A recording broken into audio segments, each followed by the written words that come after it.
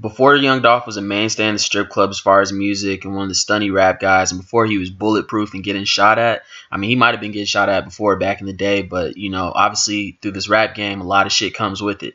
And a lot of that shit that's happened to him has came from the label that he almost signed with, CMG Cocaine Music Group, Yo Gotti. That's actually where their beef stems from. They have one of the biggest beefs in the rap game, and it all stems from Young Dolph turning down Yo Gotti's multiple offers to sign to his label back in the day before Dolph even was on.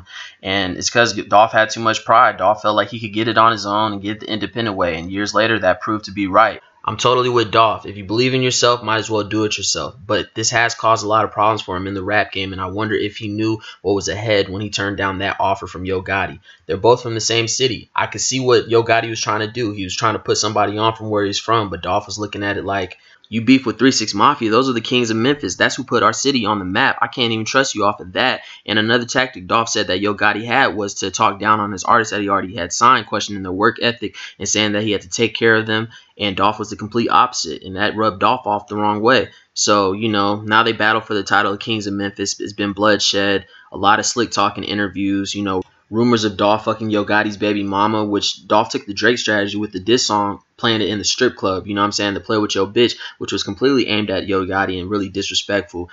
It's never going to end after shit like that and when people are shooting at each other. Uh, we can only help but wonder what it would have been like if Dolph did sign with CMG. Memphis is one of those cities that seems very divided, and beasts like this is the reason why. Next artist we're going to talk about is Famous Dex a mumble rap legend, one of this generation's favorite underground artists, man. This guy leapfrogged past all the Chiraq drill rappers out of that scene by staying away from the drill scene. You know what I'm saying? He just had fun and had energy, but that style that he gravitated towards came from somewhere, and that's who he almost signed with. TSF, the Sauce Factory and Sauce Walka. Famous Dex came up running with some of the most major ops of Chief Keef in Chicago, man. But they never boxed him into the beef because he was on a different wave, man. Famous Dex was always seen as a party guy and a fun guy from both sides. So in 2015, Dex decided to get serious with the rap shit and started dropping consistent weekly music videos. And he finally rung off with a song called Drip from My Walk. And everybody knew where Dex's influence was coming from because one, you could hear it in the music, but then two, Dex was paying homage any chance he got, whether it was tweeting it or shouting it out. Dex was a big fan of Sauce Walka, even admitting that that was his favorite artist at the time. And so behind the scenes, they worked something out where Sauce Walka was going to get on the Drip from My Walk remix, and they also had talked about signing Dex to TSF. There's no clear understanding where things fell through, but from there, Dex goes out to Los Angeles and links up with Rich the Kid and signs with Rich the Kid's Rich Forever label and never looks back through time, yeah, there was a little animosity from both sides, but not really from Dex. It was always love from Dex, but Sauce Walka did come out the Holy Sauce mixtape, in which the artwork illustrated all the artists that were biting Sauce Walka's style or looking up to him, and Dex was one of the people that was on there. But since then, it doesn't seem like they have any beef and they've hashed everything up. And like I said before, it doesn't seem like Dex has ever sent a shot at Sauce Walka. He's only paid homage through the whole time he's been on. So we can only help but wonder what it would have been like if Famous Dex was signed to the Sauce Factory. It seems like it would have been a good fit and they would have made some pretty dope music. And the next person on our list is F-A-B-O-L-O-U-S. Fabolous, man. We're going to keep it short on this one, but this guy has maintained a lot of longevity in the game, man. He hasn't lost a step yet. But at some point during his career, you know, being found with DJ Clue and Desert Storm and rocking with him throughout his whole career, there was a time when Fabolous did think about going somewhere else and it was with another fellow New York rapper. He might be like the only rapper that this guy didn't beef with. 50 Cent and G Unit. It's not very clear where the origins of this deal came from or how serious the talks were, but it was serious enough for Fabolous to think about. This is when 50 Cent's coming out with his second album, I think, and he's signing Mobb Deep and MOP and Mase, signing some classic New York acts. And one of the current New York acts he was thinking about signing was Fabolous, who was hot in the game and always coming out with the hit. There's no telling why this deal never happened, but we're pretty sure they would have some really good chemistry together and made some dope songs, especially some songs for the girls, because that's what they both do. But can you imagine Fabolous spelling his name out like F A B O L O U S and then hitting him with the G G G G G G Unit? That's crazy.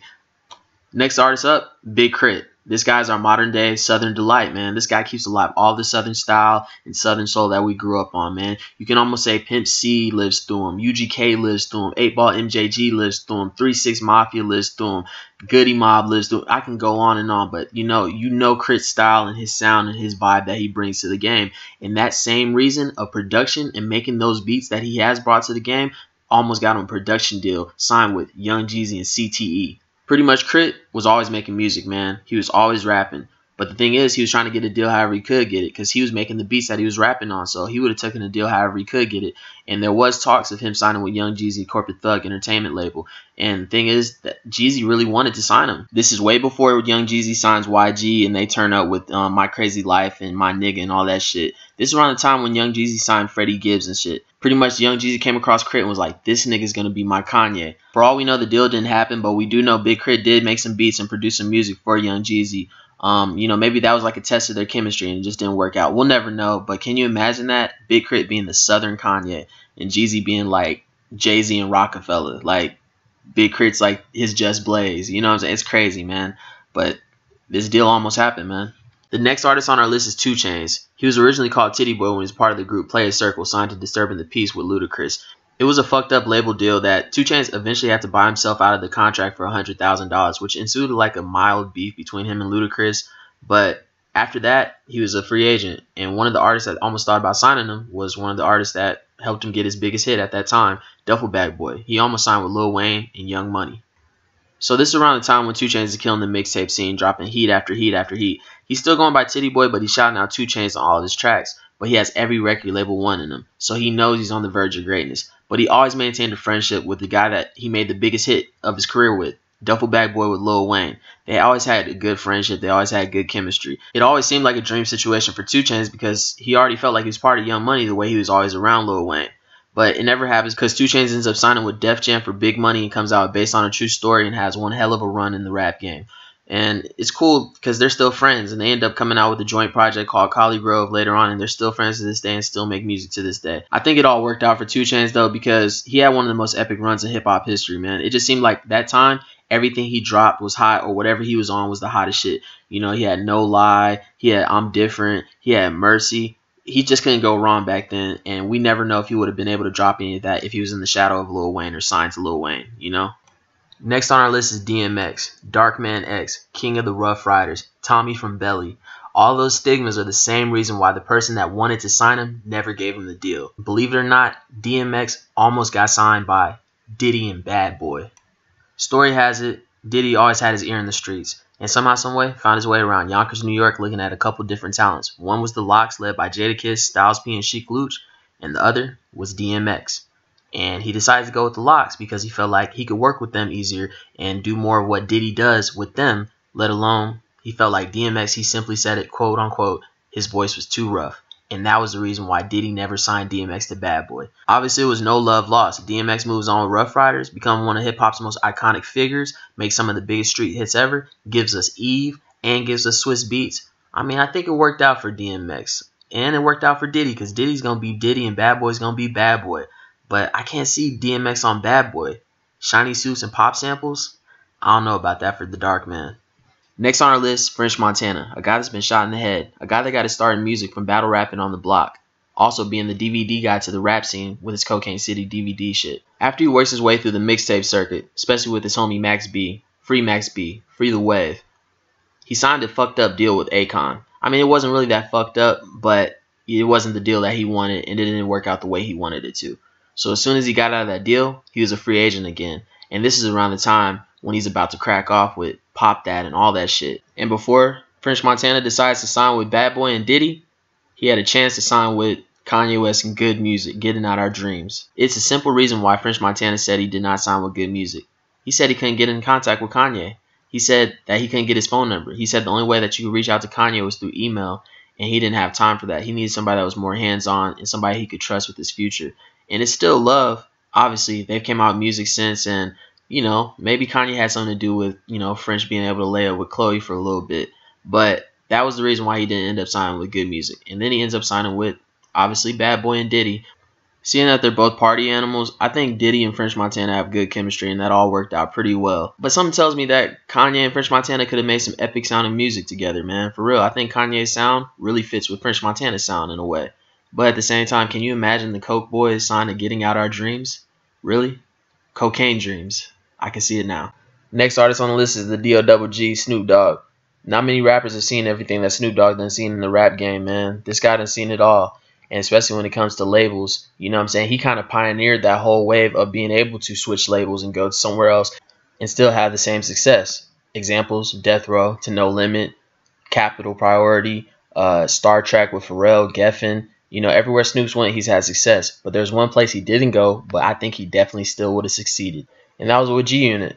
Alright, so if we go back to 50 Cent's first album, Get Rich or Die Trying, which had plenty of hits, one of them was PIMP Remix featuring who? Snoop Dogg, and they did the Icy video to it. Well, around that time, they expressed some business interest with each other about, you know, working on a partnership. Not a, just like a full, hey, I'm going to sign you to my label. It was just like, hey, this makes sense. We're G Unit, you're the DO double G, you ushered in the G shit, and then you add in a Dr. Dre relationship between both of them. That's kind of common ground. Well, you know, it sounded good, but it never ended up happening. But it's all good. 50 Cent ended up doing very well for himself. And then at that, Snoop Dogg within the next year has one of his biggest hits ever with Drop It Like It's Hot and then linking up with Pharrell and signing the Star Trak. So some things are just not meant to be. But it sounded good, huh?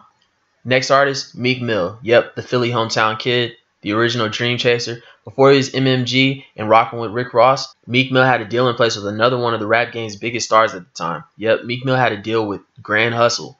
Yep, T.I. got to Meek Mill way before Rick Ross, like years ahead. You can actually go back and watch T.I.'s What's Up, What's Happening video, and you'll see the cameo of Meek Mill with the braids and everything. And the reason why the deal fell through as well, because T.I. caught all his gun charges, and you know what I'm saying? Meek was left in limbo, so I was like, what am I to do? So he just went right back to the mixtape scene in the streets and just rapping and rapping. He was lucky enough to earn the attention of Rick Ross, and Rick Ross pretty much signed him on the spot. And shout out to T.I. because T.I. let him out of the paperwork of the deal they had in line, and that was a real nigga thing of him. And from there, Meek Mill was the cornerstone to the MMG brand that Rick Ross built. And if you ask me, I think he was a better fit on MMG. I think that Rick Ross's cinematic feel fits Meek's music and his voice way more than maybe some of the beat choices and the songs that he would have probably ended up doing with T.I. And at that, Rick Ross really solidified himself on the East Coast by signing Meek. He got a lot of respect for that. Oh, and we just want to say from Sperry Springer, free Meek Mill. And the next artist we have on the list is Nas. During this time in the early 2000s, whoa, man, rap was so clicky, bro. It was crazy. It was all about your label or all about the niggas that you was running with. And so when you add one of the greatest lyricists ever who's involved in one of the biggest beefs in rap history, along with the label that's involved with another one of the biggest beefs in rap history, oh man, you're adding fuel to the fire. Yep, Nas really almost signed with Murder Inc things went as far as Nas doing features and cameos. Matter of fact, he was on the Murder Inc. compilation album, but there was never no paperwork done. That's the crazy part. And the president and founder of Murder Inc., Irv Gotti, he always says that this hindered his relationship with Jay Z, and Jay Z never looked at him the same because they had that beef going on, and it just didn't make sense that someone that he was friends with, that he produced a lot of music with, would go and sign his enemy at the time. Looking at it in retro perspective now, it still doesn't make sense. It didn't make sense to me then. You know what I'm saying? Nas and Ja Rule, that's not really KD and Steph compared to Jay Z being LeBron. You're not guaranteed to beat them in the finals. And then at that, the murdering style of just, you know, poppy R&B love ballads doesn't really fit with Nas. It's just, you know, straight lyricism. You know what I'm saying? And this actually did make 50 Cent beef with Nas just because he saw him associated with his enemy. Overall, I'm glad Nas didn't do this, and I think it was way better for rap that he didn't, because it could have gotten really ugly, let alone the move just didn't make sense at all to me.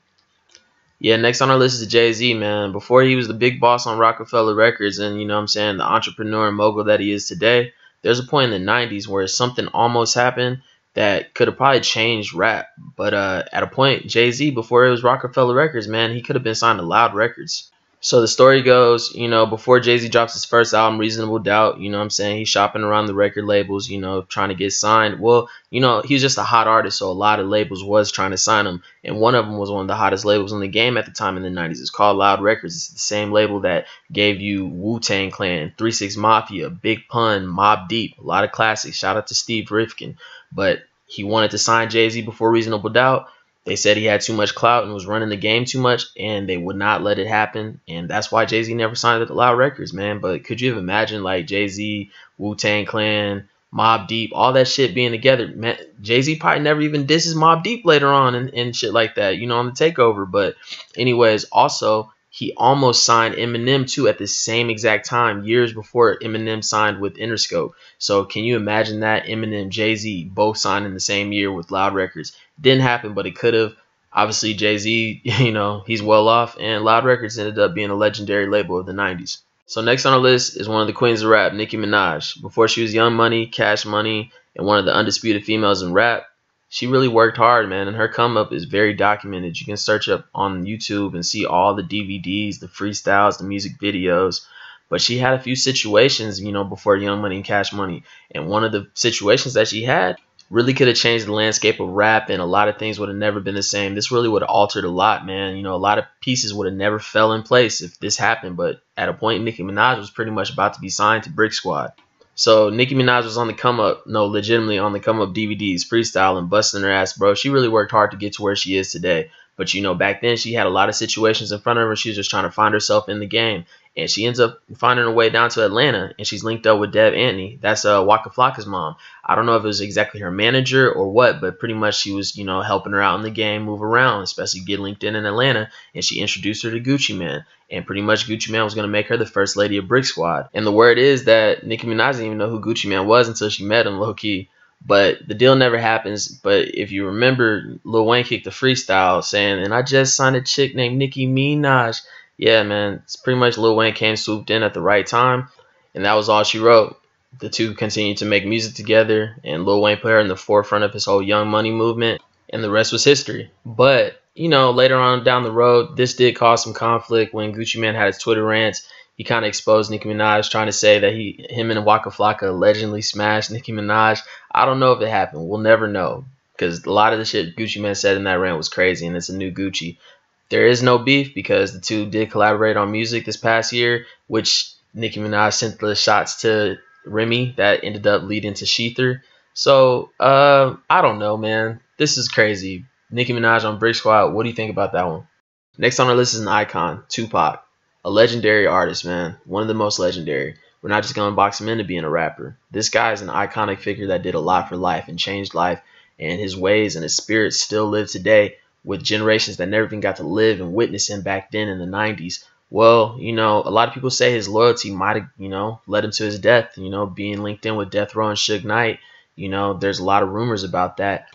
But who knows? If he signs with this label that he was rumored to sign with, Tupac might not be dead today. We'll never know, huh? But he almost signed with Master P and No Limit. So this one's really all rumors, but it's coming from a good source, Master P himself.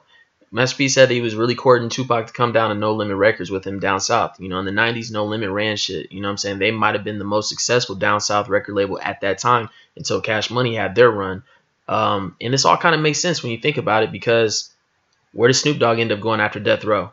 But don't get it twisted. Snoop Dogg went to No Limit Records after Tupac died. But I'm just saying it makes sense that Master P probably already maintained a relationship with the artist, you know, before. And so that makes this rumor sound like it could have really happened.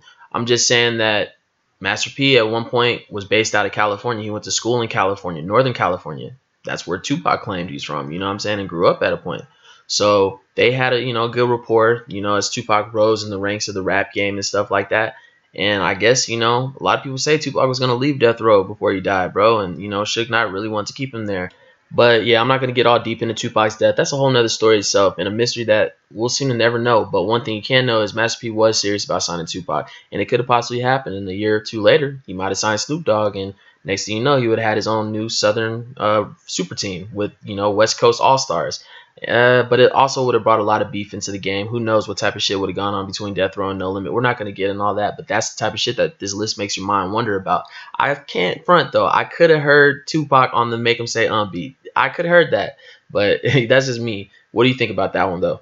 We go from one generation's icon to another generation's icon, an icon of his own. Cam'ron. Yeah, Killer Cam before he's the boss of Diplomat Records. Everybody knew Cam'ron ran with Roc-A-Fella Records. He grew up with Dame Dash, and Jay Z was a top New York rapper at the time, so it all kind of made sense. Before he signed to Jay Z, years before, man, Cam'ron was almost signed to the top New York rapper at that time when he was alive. Biggie and Bad Boy Records. So the story goes as told by Cam'ron, Jim Jones, and Mase. Cam'ron had a chance to rap for Biggie, and Biggie was so impressed that he wanted to sign Cam'ron. How did Cam'ron get this chance to rap for Biggie? Well, who was his tag team partner on Bad Boy Records at the time? Mase. Somebody that Cam'ron grew up with, went to school with, played high school basketball with, even participated in a state championship in high school basketball with together. This all happened when Biggie's gearing up for his second and final album, Life After Death. So he's really busy and never gets around to signing Cam'ron, But Cam'ron uses words to get his first deal anyway. He told entertainment owner Un Rivera, hey man, Biggie said he's to sign me, man, so what's up? And that's pretty much how he gets his first deal. Everything happens for a reason, but shout out to Biggie for seeing the potential in Cam'ron years before everybody got to see who Cam'ron really was and the superstar that he is. But I don't know, him signing on Bad Boy could have probably gotten messy because if he didn't like the way business and things was being done at Roc-A-Fella Records, who knows how he would have been with, you know, Diddy, you know what I'm saying? Because as we all know, Cam'ron's not afraid to beef with anybody, including his own boss, because he's his own boss. But I guess that's the type of nigga he is. A New York nigga. No, wait, a Harlem nigga, because that's what they be saying all the time. But I think he would have fit in pretty good with Bad Boy Records and the sound that they had back then with all the samples and stuff. I could have definitely heard Cam'ron on Mo Money Mo Problems, bro, for sure. What do you think? So the next and final artist on our list is the best rapper alive, Lil Wayne. After it was Cash Money Records where dreams come true and all the dreams came true, Lil Wayne was a free agent. His contract was over Cash Money. He's been signed with them since he was 11 years old. Well, he shopped around just like Kobe Bryant did when Kobe was at the Lakers and he was a free agent, just to see what it was like. And he almost got signed by his competition. Who knows? It might have been an ingenuine chess move. We'll never know. But Life After Cash Money was looking like Lil Wayne was going to sign with Jay Z, Roc-A-Fella Records slash Def Jam. So really, it's Def Jam where Jay Z's the president, signing artists like Rihanna, Ne-Yo, got his eye on talent like Rick Ross. Well, also at the time, Lil Wayne's the hottest rapper in the game, actually the best rapper alive, and his contract just happens to be up and he wanted to spread his wings at the time and see if there's better opportunities elsewhere. So he did, and he linked up with Jay Z at Jay Z's 4040 Club, where Jay Z and him chopped it up and talked business, and Jay Z lowballed him and gave him an offer of a hundred something thousand dollars, and Lil Wayne verbatim said that he laughed that shit off and told him that each tooth of my grill cost a hundred thousand dollars. So the deal never happens. Who knows what Jay Z's intentions were with this deal? So later on, through the years later, they just keep sneak dissing each other, but it's more friendly competition of like who's the best and just jabs. Don't get it twisted though, because remember on the Carter 3, they linked up for President Carter, and they also performed at the Grammys their Grammy nominated song, Swagger Like Us. You know what I'm saying? Him, T.I., and Kanye. So it's not really real beef, but who knows what type of collabs we could have gotten from Lil Wayne and Jay Z. Shit, they might have came out their own Watch the Throne. You never know. Lil Wayne would have been signed under Jay Z, so he would have probably been looking out for him like he would look out for any of his artists. And seeing that he actually kind of does respect what Lil Wayne does, they probably would have collabed and made some dope ass music together. And now, you know, with Lil Wayne being an owner in title and the rumors that he wants to sign with Roc Nation, which he can't because of his paperwork and fucked up deal with Birdman, which it kind of looks like Jay Z's probably the better boss than Birdman. But family's family, so Lil Wayne stuck it out with Cash Money. Do you think he regrets that? Or do you think it just is what it is and everything played out for the best? So that's our list for rappers that might have signed with other labels. All these stories and rumors and facts really got me wondering like, man, what would the game have been like if all these would have gone down? I guess we'll never know, but what I would like to know is what you guys think and your own opinion. So feel free to leave a comment, hit the like, make sure you're subscribed if you're not subscribed already. And if you got any list ideas, feel free to leave a comment, man. We'll check it out and we'll see if we can make something happen, man. It's Sperry Springer. If the streets talked, it would be here.